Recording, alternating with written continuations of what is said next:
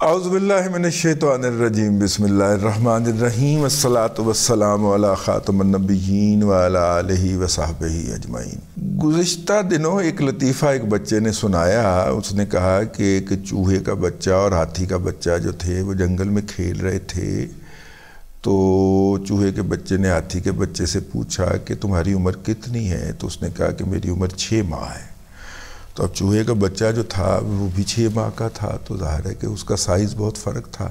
तो अपनी तरफ़ देख के कहता है कि उम्र तो मेरी भी छः माह है, लेकिन मैं ज़रा बीमार शुमार रहता हूँ। ठीक है? हुआ कुछ यूँ है कि पाकिस्तान के खुफिया अदारों की तरफ़ से अदलिया के मामलात के अंदर मुदाखलत के हवाले से एक फ़ैसला आया गुज्त रोज़ सुप्रीम कोर्ट का और ये जस्टिस शौकत अज़ीज़ सिद्दीकी साहब का फ़ैसला था।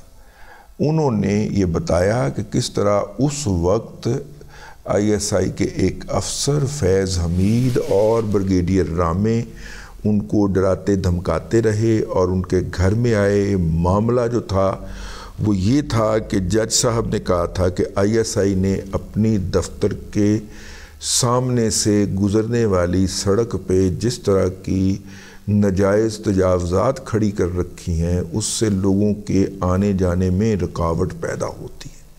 तो लिहाजा इसको हटाया जाए। तो पहले वो तो साहब तशरीफ़ लाए रामे ब्रिगेडियर रामे साहब, जो कि मेरा ख्याल है, मेजर जनरल बन चुके होंगे अब तक। और वो तशरीफ़ लाए, और उसके बाद फिर ये चीफ जशूश जनाब फैज़ हमीद साहब तशरीफ़ लाए। वो वो अपना की ना नजफ हमीद के भरा नजफ हमीद पटवारी के भरा आहो नजफ हमीद भारी पटवारी के भरा फैज़ हमीद साहब तशरीफ़ तो लाए और उन्होंने बातों बातों में पूछा कि वो आप नवाज़ शरीफ से आपकी अपील आप के पास लगेगी तो आप उसका क्या कर रहे हैं तो उन्होंने कहा कि जो मेरिट पे होगा कर देंगे उन्होंने कहा इस तरह तो हमारी मेहनत ज़ाया हो जाएगी तो जज साहब ने ये बातें लिख के पहले अपने चीफ जस्टिस को दी उसने कहा चुप रहे मुठ रख बोलना नहीं गा मैं मैं पहले ही बलूचिस्तान जो मेरा फलूक लगा और मैं यहाँ का चीफ जस्टिस बन गया हूँ तो क्यों मेरी नौकरी के पीछे पड़ गया? उसके बाद यही बातें उन्होंने साकब निसार को भिजवा दी उसने साकब निसार ने किया लो, इसके, इनसे तो मैं हदायत लेता हूँ तो डायरेक्ट ही उनके साथ बातचीत में चला गया, तेरी ऐसी तैसी तुम्हें इबरत का निशान बनाते हैं। और यूँ जनाब, उनको इबरत का निशान बना दिया गया और उनको नौकरी से फारग कर दिया गया। हालिया दिनों में सुप्रीम कोर्ट ने अपने उस फैसले के ऊपर, यानी कि साकब निसार के गलाजत भरे फैसले के ऊपर नज़रसानी की और कहा कि जनाब, ये फ़ारग नहीं होते थे। इनको बाइज़त तौर पर रिटायर किया जाना चाहिए था और हम इनको बाइज़त रिटायर करते हैं और इनको तमाम पेंशन वेंशन फ्राहम करते हैं। और पाकिस्तान की दूसरी अदालतों के अंदर, ज़ाहिर जिस अदालत के अंदर बंदा जज रह गया हो, उसके सामने पेश नहीं हो सकता। तो चूँकि ये हाई, इस्लामाबाद हाई कोर्ट के जज रह गए तो बाकी हाई कोर्टों में ये प्रैक्टिस भी करें, अपना रिजक भी कमाएँ और पेंशन भी इनको मिलेगी और एडवाइस भी दिया करें लोगों को। ये था वो तंदूर जो कि जिसके अंदर आग जल गई और तंदूर पख गया, जिसको पंजाबी में कहते हैं तंदूर गर्म हो गया। तो जब ये गर्म तंदूर देखा तो इमरान अहमद ख़ान न्याजी ने कहा कि मैं भी इस पखे हुए तंदूर के अंदर अपनियाँ भी रोटियाँ ला लूँ अपनियाँ भी लुच टाल रहा वो लुच टाल रहे थे, उन्होंने कहा, मैं भी अपनियाँ लुचियाँ टाल रहा हूँ। ठीक है? बल्कि वो लुचियाँ टाल रहे थे, हैं? मतलब कि उस केस के अंदर तो लुचियाँ तली गई ना अपने जनाब शौकत अज़ीज़ सदीकी साहब के केस में। तो यहाँ पे इसने सोचा कि मैं भी ये अंदर अपना एक लुच ताल लवा। इमरान अहमद खान न्याजी ने, उन्होंने इशारा किया और छः जज जो थे, बमा, ये अपना, यूथिया, यूट्यूबर के और यूथिया ट्रोल्स के फौरी तौर पे सरगर्म हुए। उन्होंने कौम को बताना शुरू किया कि ज़मीर जागने लगे हैं, तमाका होने लगा है, लावा फटने लगा है और फिर लावा फट गया। लाहौर का पावा, अख्तर लावा, वो लावा फट गया जी। वैसे लावा पाकिस्तान छड़ के टुर गया, वापस जितों आया सी, बाहर कितने नौकरी शौकरी करता बेचारा। है? लाहौर का पावा, अख्तर लावा। अख्तर लावा साहब जी फट गए ने, और क्या फटे हैं? अब अख्तर लावा साहब फट गए, और छः जजेस ने जो है, वो इल्ज़ाम लगा दिया कि जनाब एजेंसियाँ हमें तंग बड़ा करती हैं। हमें दफ्तर जाते हुए छेड़ती भी हैं रास्ते के अंदर। और एक तो इस हद तक क्रॉस कर गया कि उसने कहा कि जनाब मेरे साले को पकड़ के ना तो उसके जिसम के ऊपर करंट भी लगाया आईएसआई वालों ने। ये सारा कुछ कर दिया उन्होंने वैसे यार हमें भी आईएसआई वालों ने जिंदगी में तीन दफा उठाया है मारकुट उन्होंने की है राज्य के लेकिन यार करंट लगाने वाली गल गलत है करंट नहीं लगाते वैसे मुक्के शुक्के मारते हैं और मुक्का उनका होता निशाने के ऊपर है ठीक है बाहर निशान कोई नहीं छोड़ता सारी उम्र वास्ते तो पता लगता कि ਤੁਹਾਡੀਆਂ तीन डिस्क हिल गई हैं हाँ फिर ये जो मैं कुर्सी पे ऐसे ऐसे होकर बैठता हूँ ये बुनियादी तौर पे वो वजह है ना?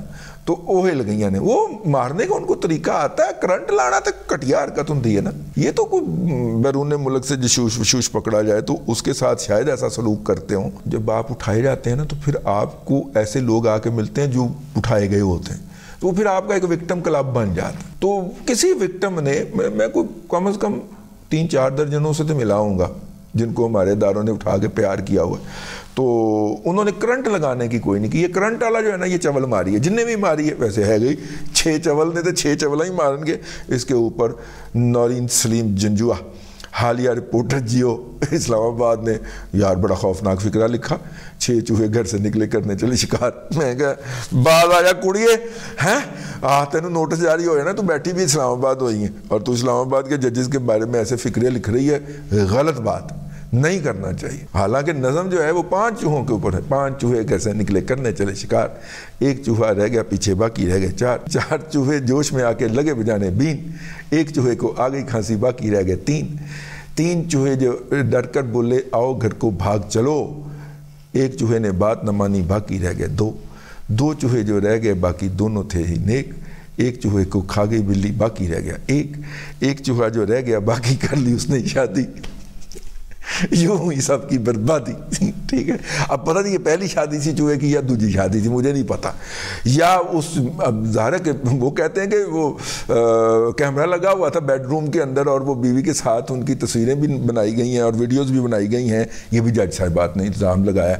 अब पता नहीं चूहे की पहली शादी थी कि दूसरी शादी थी, हमें नहीं पता। हो सकता है जज अरशद मलिक की तरह शादी हो ही ना। है शादी के बगैर ही शादी मनाई जा रही हो तो कुछ कहा नहीं जा सकता।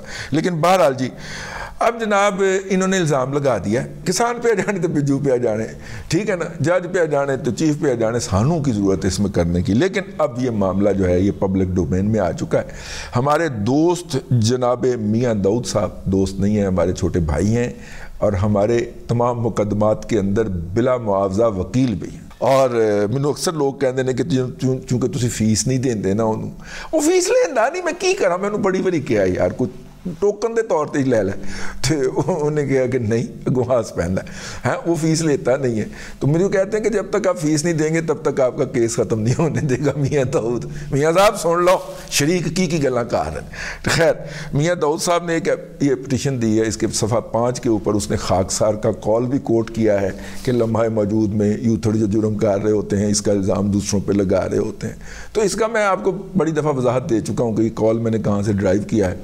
ये गोएबल का प्रोपेगंडा प्रिंसिपल नंबर टू है, और इसके अंदर जो है, ये उसको उससे ये गोएबल के फॉलोअर है ना यूथ ये। उन्होंने अपनी पिटीशन के अंदर क्या लिखा है जी, वो मैं लेके आपकी खिदमत में हाज़िर हो गया हूँ।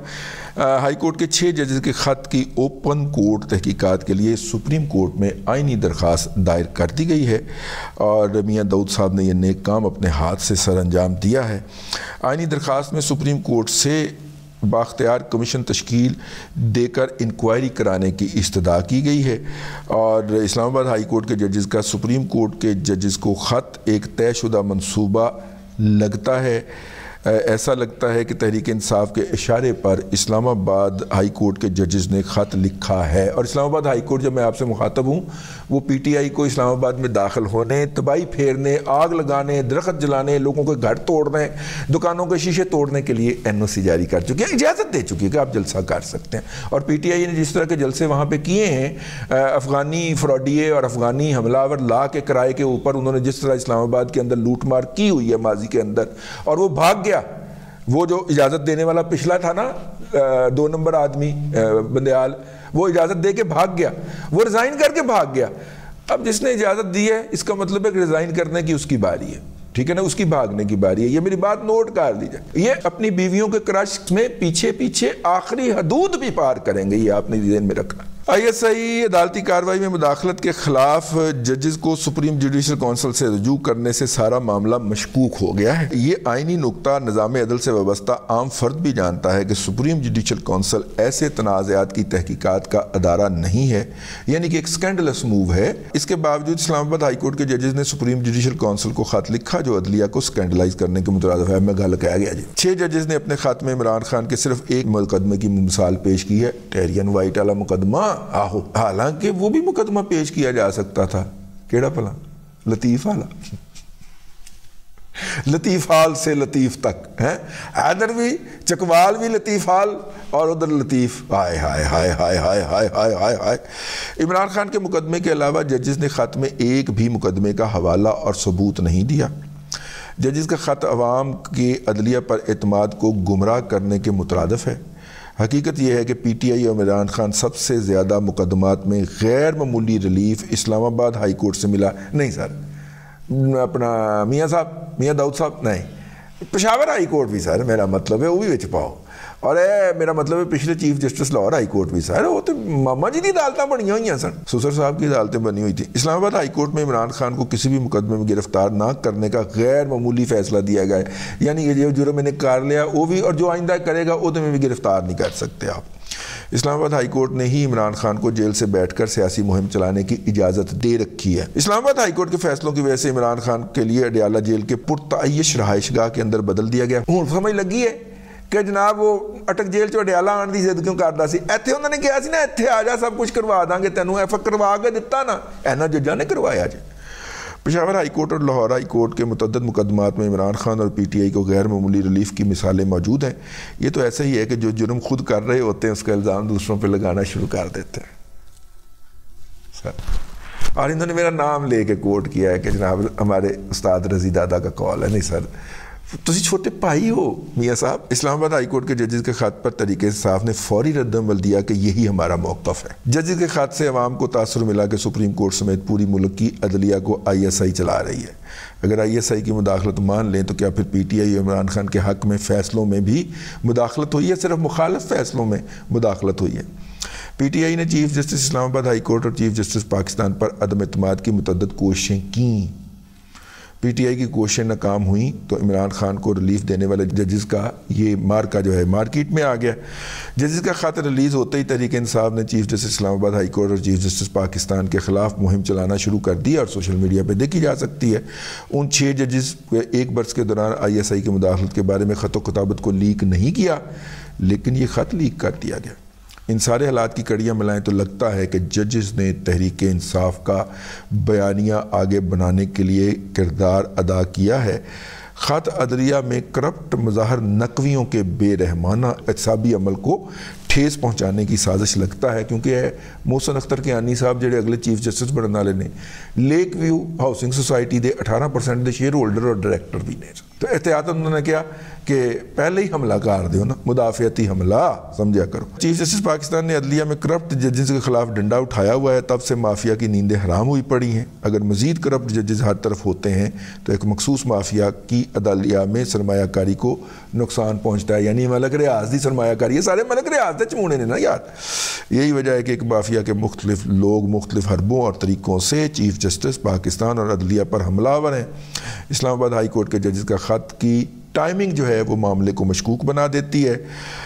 जब पाकिस्तान बहरिया टाउन के जेर अल्तवा मुकदमात में सख्त रिमार्क से हुक्म जारी करते हैं, जब भी चीफ जस्टिस साहब हैं, बहरिया के करते हैं तो उन पर हमला शुरू हो जाता है। गाल में कह गया ये। पहले ही मैं कह रही थी। कमिश्नर रावलपिंडी की प्रेस कॉन्फ्रेंस भी, में भी चीफ जस्टिस पर बरह रास्त इल्ज़ाम लगाया गया। हालाँकि वो इस पूरे अमल का हिस्सा ही नहीं थे। बैरिया टाउन के मुकदमात में अहकाम जारी होने के बाद कमिश्नर रावलपिंडी की झूठी प्रेस कॉन्फ्रेंस महज इतफाक़ नहीं है। एक हफ़्ता कबर बहरिया टाउन के मुकदमात में सख्त इकदाम के बाद छः जजेस का ख़त भी महज इतफाक़ नहीं है। छः जजेस के ख़त को एक एक लफ्ज़ को अदलिया और फ़ौज को खुले जहनों के साथ तहकीक़ात करनी चाहिए। छः जजेस और आई एस आई से एक एक मुकदमे की बाबत दबाव, मुकदमात के नतज की तहकीक़ात होनी चाहिए। जजेस को खुले दिल से मौका दिया जाए कि आएँ, सबूत के साथ अपने इल्ज़ाम साबित करें। इस्लामाबाद हाई कोर्ट के जजेस बताएँ कि कौन कौन से मुकदमात में किस किस आई एस आई अफसर ने दबाव डाला। आईने पाकिस्तान जजेस को मुदाखलत करने वाले अनासर के खिलाफ तोहन अदालत की कार्रवाई का अख्तियार देता है। अदलिया में आई एस आई की मुदाखलत करने या ना करने का तनाज़ा अब एक मरतबा फिर अब एक मरतबा ही हल हो जाना चाहिए। सुप्रीम कोर्ट एक बाख्तियार कमीशन बनाकर जजेस के इल्ज़ाम की ओपन कोर्ट इंक्वायरी कर दे, ये इस्तदा की है और जो जज या आई एस आई अफसर इल्ज़ाम साबित ना कर सके, इसके तहत मुतल कवानीन के तहत कार्रवाई की जाए। ए मियाँ साहब ने डांग मार दी। ठीक है। चलें, मैंने कहा कि ये उनकी अमानत जो है वो आपकी समातों तक पहुँचा दी जाए। अब तक के लिए इतना ही। अगले ब्लॉग के अंदर फिर हाज़िरी होती है। अल्लाह तबारक व ताली आपको आसानियाँ अता करे और आसानियाँ खल के खुदा में तकसीम करने की तोफ़ी अता करे।